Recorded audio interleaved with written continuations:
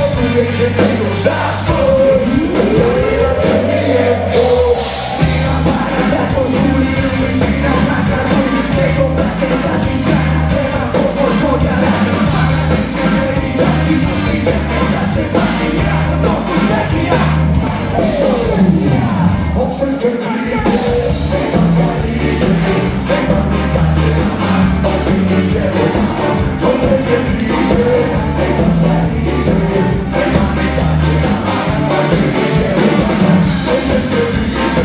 Thank you.